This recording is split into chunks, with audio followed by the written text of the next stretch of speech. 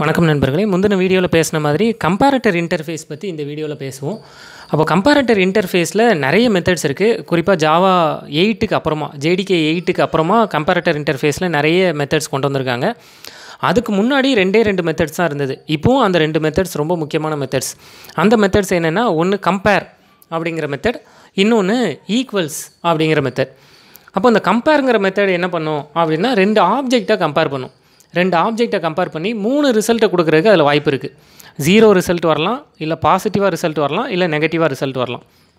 ரெண்டு ஆப்ஜெக்டையும் கம்பேர் பண்ணி ரெண்டு ஆப்ஜெக்ட்டும் ஈக்குவலாக இருந்ததுன்னா நமக்கு ஜீரோங்கிற ரிசல்ட் கிடைக்கும். ரெண்டு ஆப்ஜெக்டை கம்பேர் பண்ணும்போது முதல் ஆப்ஜெக்ட் ரெண்டாவது ஆப்ஜெக்டோட பெருசாக இருந்ததுன்னா பாசிட்டிவ் ரிசல்ட் கிடைக்கும். ரெண்டாவது ஆப்ஜெக்ட் பெருசாக இருந்ததுன்னா நெகட்டிவ் ரிசல்ட் கிடைக்கும். அதனால தான் கம்பேர் மெத்தடோட ரிட்டர்ன் டேட்டா டைப் பார்த்தீங்கன்னா இன்டீஜர் அப்படின்னு இருக்கும்.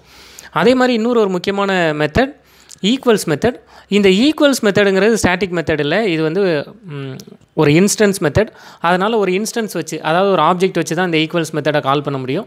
அப்படி கால் பண்ணும்போது எந்த ஆப்ஜெக்டை வச்சு நீங்கள் ஈக்குவல்ஸ் மெத்தடை கால் பண்ணுறீங்களோ அதை இன்வோக்கிங் ஆப்ஜெக்ட் அப்படின்னு சொல்லுவாங்க. அதோட சேர்ந்து எந்த ஆப்ஜெக்ட்டை நீங்கள் கம்பேர் பண்ணுறீங்களோ இங்கே பேராமீட்டர் ஆர்குமெண்ட்டில் நீங்கள் ஒரு ஆப்ஜெக்ட் நேம் கொடுத்துருக்கீங்க இல்லையா? இந்த ஆப்ஜெக்ட்டையும் நீங்கள் இந்த மெத்தடை எந்த ஆப்ஜெக்ட்டை வச்சு கம்பேர் பண்ணுறீங்களோ அதையும் கம்பேர் பண்ணுறதுக்கு இது பயன்படுது.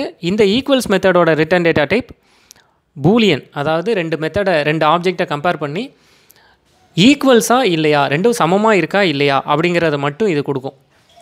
அப்போ இந்த ரெண்டு மெத்தடை நம்ம கம்பேரட்டர் இன்டர்ஃபேஸை இம்ப்ளிமெண்ட் பண்ணுறது மூலமாக நம்ம கிளாஸ்லேயும் பயன்படுத்தலாம். இந்த ஈக்குவல்ஸ் மெத்தடை ஓவர் ரைட் பண்ணுறது நமக்கு அவ்வளோ யூஸ் இல்லை. ஏன்னா அதில் பாசிட்டிவ் அதாவது boolean value true or false result தான் கிடைக்குது.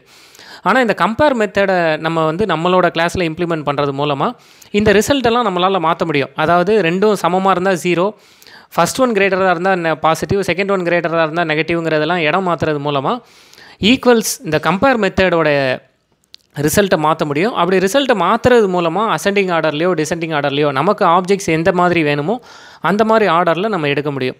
அதுக்காக தான் கம்பேரட்டர் இன்டர்ஃபேஸை நம்ம கிளாஸில் இம்ப்ளிமெண்ட் பண்ணுவோம்.